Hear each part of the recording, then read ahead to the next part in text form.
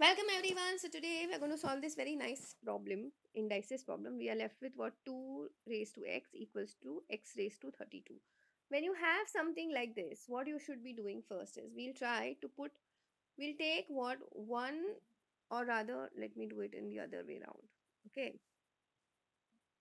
So first what we'll do is we'll take x root on both sides. Matlab multiplying both sides by 1 by x in the indices.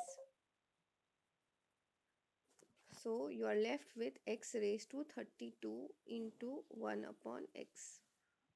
Okay.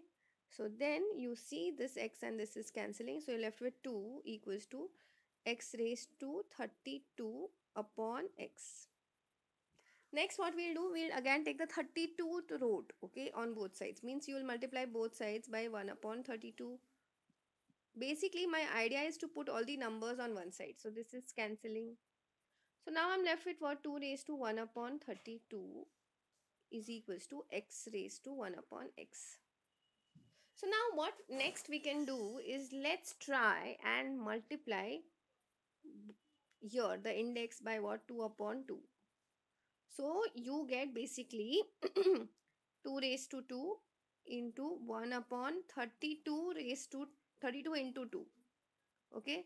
So you're left with x raised to 1 upon x on one side. This then eventually comes out to be what? 4 raised to 1 upon 64 okay? Again next what we can do is let's multiply the index by what? 2 again. So again i'm left with what? I'll write x raised to 1 upon x this side okay?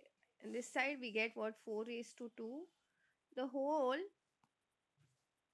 the whole raised to 1 upon 64 wait i'll write.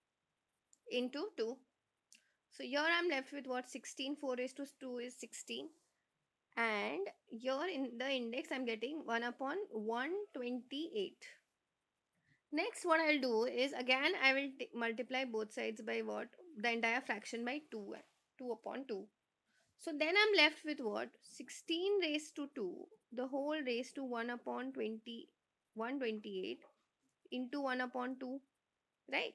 So here this comes out to be 256 and this is still 1 upon 256. So here I get 1 upon x raised to x. Now if you look closely, the x and the indices are matching itself. Therefore, I can say value of x is nothing but what? 256 okay i hope this is very very clear to everyone. That's it for today. I will see you in the next video